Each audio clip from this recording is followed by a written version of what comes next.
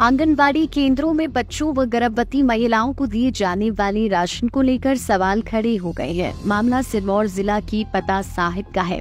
आरोप है कि महिलाओं और बच्चों को जो राशन दिया गया, उसमें बड़ी मात्रा में कीड़े निकले और अक्सर यहाँ ऐसा देखने को मिलता है। पौंटस साहिब के आंगनबाड़ी केंद्र भाटा वाली के तहत आने वाली कुछ महिलाएँ आज जिला मुख्यालय नाहन पहुँची। और इस दौरान डीसी सिरमौर को शिकायत सौंप कर कार्रवाई की मांग की गई। वहीं उन्होंने आंगनबाड़ी केंद्र द्वारा वितरित किया गया राशन भी डीसी व मीडिया की प्रतिनिधियों को दिखाया, जिसके बाद आंगनबाड़ी केंद्र में मिलने वाले राशन को लेकर सवाल खड़े हो गए। स्थानीय महिलाओं ने बताया कि गर्भवती महिलाएँ और आंगनबाड़ी केंद्र में दर्ज बच्चों को जो सामान दिया जा रहा है, उसमें गुणवत्ता को दरकिनार किया जा रहा है और ये राशन किसी भी सूरत में खाने के लिए इस्तेमाल नहीं किया जा सकता। क्योंकि इसमें अक्सर कीड़े पाए जाते हैं।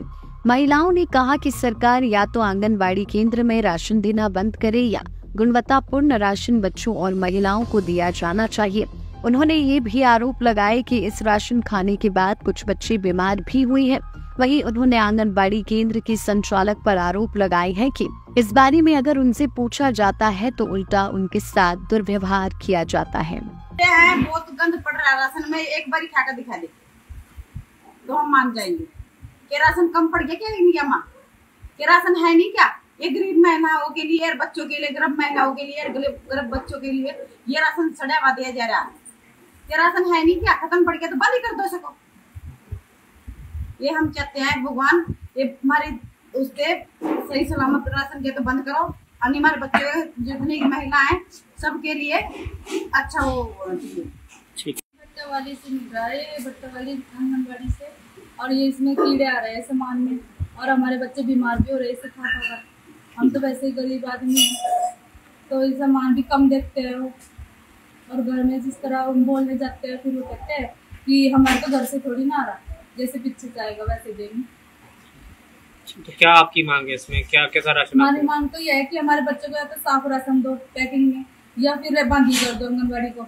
हमारे बच्चे को बस साफ़ सुथरा चाहिए राशन और कुछ नहीं चाहिए। गंदा राशन बच्चों को हम खिला सकते। हैं ऊपर से रहती है आंगनबाड़ी बच्चों को डालते हमें मुझे बताओ, हम गंदा राशन खिलाए बच्चों को या आंगनबाड़ी चाहिए ये राशन हमने चाहिए, और यहाँ पे आंगनबाड़ी बंद होनी चाहिए अच्छा राशन पैकिंग में आना चाहिए हर जगह पे जगह पैकिंग में आता है सब सामान। आगे से कुछ कंप्लेन करें, ये बोलते हैं गाँव में जाना है, गाँव की धमकी किस पर रखते हैं हम अपना खाते हैं अपना कमाते हैं जो राशन आता है सरकार की तरफ़ से आता है राशन तो ये अपने घर से देती नहीं है व्यक्ति खान देंगे तो आंगनबाड़ी खुलेगी उन्हें बंद है क्या लोगों ये समस्या काफ़ी टाइम से है रोड पर आवाज़ नहीं उठाती। आपकी बार आवाज़ उठाई है देखते महिलाओं के साथ यहाँ पहुँचे समाज सेवी नाथुराम चौहान ने कहा कि आंगनबाड़ी केंद्र में यदि इस तरीके के राशन की सप्लाई हो रही है तो ये बेहद दुर्भाग्यपूर्ण है।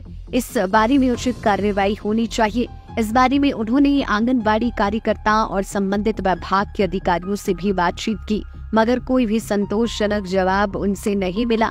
उन्होंने सरकार और प्रशासन से मामले में तुरंत कार्रवाई की मांग करी है। पंचायत से हमें शिकायत बराबर आ रही कि गंदा राशन मिल रहा गंदा राशन मिल रहा गंदा राशन मिल रहा मुझे लगा कि कई बार रहता है गाँव में, ठीक है, हो जाता है कई बार कि कुछ उसमें निकल गया, एक दो बार तो फिर समय भी नहीं होता, इतनी समय की दिक्कत है, लेकिन परसों इन लोगों ने मुझे एक वीडियो भेजी। वीडियो भेजी, अगर आप देखेंगे, इतनी खतरनाक वीडियो थी उसमें वो जो इनको दाल या चने दिए जाते उसकी केवल उसका छिलका ही छिलका बचा था। उसके अंदर टोटल कीड़े और इतने अधिक मात्रा में कीड़े थे कि हैरान हुआ मैं कि ऐसा राशन कैसे दे सकते हैं? ऐसा तो पशु भी नहीं खाते परसों इन्होंने मुझे वीडियो भेजे कल मुझे वहाँ मौके पर जाना पड़ा। कल सुबह सुबह वहाँ पर गए इनको सब महिलाओं को लेकर बहुत अधिक संख्या में महिला थी। गर्भवती महिला जो यहाँ पर नहीं आ पाई अत्यधिक बारिश हो रही है। कुछ ऐसी महिला जिनके बहुत छोटे छोटे बच्चे, वो भी नहीं आ पाई है। पर हालत इतनी खराब है, कहना इनका ठीक, बिल्कुल ठीक कहना है। तो अगर माननीय मुख्यमंत्री जी खा लेंगे ऐसा राशन तो हम भी खा लेंगे, क्या फ़र्क पड़ता है? बड़े बड़े अधिकारी अगर ऐसा राशन खा लेंगे तो हम भी खा लेंगे। हमें भी उससे फ़र्क नहीं पड़ता। पर ये राशन तो पशु भी नहीं खाएँगे, इसमें है ही कुछ नहीं कीड़े कीड़े कल हम जब जो वहाँ पर गए, आंगनबाड़ी केंद्र में गए तो आंगनबाड़ी केंद्र क्योंकि हम बाहर खड़े थे, हम अंदर नहीं गए, उन्होंने इन लोगों को धमकिया दी कि तुम लोगों ने गाँव में नहीं रहना चाह मैं बड़ा हैरान रहा क्योंकि उसमें वीडियो चल रही थी, वहाँ पर वीडियोग्राफी हो रही थी तो मैंने कुछ नहीं कहा। बाद में मैंने उन्हें कहा कि आपने तो गलत गई क्या गाँव में रहने मतलब क्या था? ये हर कुछ खिलाओगे इनको आप। कीड़े वाला राशन खिलाओगे। उसके बाद उनकी जो सुपरवाइजर आती है, सुपरवाइजर एक और नई बात बोल देती है। उन्होंने कहा कि मैंने इसको कहा था कि इसको दल के दे। दल के मतलब पीस के दे। फिर कीड़े भी पीस मतलब खिला दो फिर इसका मतलब। तो जो बच्चे वहाँ पर खाना खा रहे होंगे, पहली बात वहाँ पे बच्चे जाते नहीं ऐसा खाने खाने। पर अगर कोई बच्चे जा रहे होंगे तो उनको तो फिर वो ऐसे ही खाना खिला रहे होंगे, सड़ा हुआ वो। वो गलती का पता कैसे लगा? क्योंकि कल की रिपोर्ट में जो पौडेन के बड़े अधिकारी, उन्होंने सीडी को शायद सीडी ने ये कहा है कि मैंने वहाँ इंक्वायरी की है। मैंने जाँच की है, वहाँ सही पाया गया। अरे वहाँ सही पाया गया तो ये क्या गलत है क्या?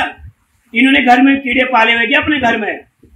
इसका मतलब ये पूरी की पूरी दाल जो है, काली है, पूरी पूरी दाल काली। केवल इसमें मुझे भी लगा चलिए, कार्यकर्ता सहाय कार्यकर्ता है आंगनबाड़ी कार्यकर्ता होगा, चल छोड़ा, हो जाता है कई बार गलती वो जबकि उन्होंने खुद वीडियो में माना कल वीडियो बनी, कि जो हो जाता है बरसातों में।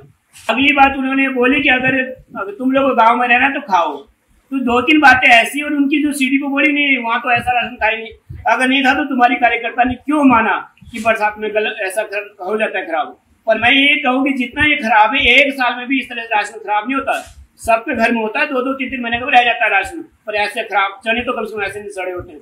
आप देखो तो माननीय मुख्यमंत्री बार बार बोलते हैं, आंगनबाड़ी के लिए हमने इतना दे दिया, इतना राशन है, और कौन कौन सा देते इतना शुद्ध ताकि गर्भवती महिलाओं के बच्चे बड़े, स्वस्थ हो छोटे छोटे बच्चे, नोनी, हाल बड़े स्वस्थ हो।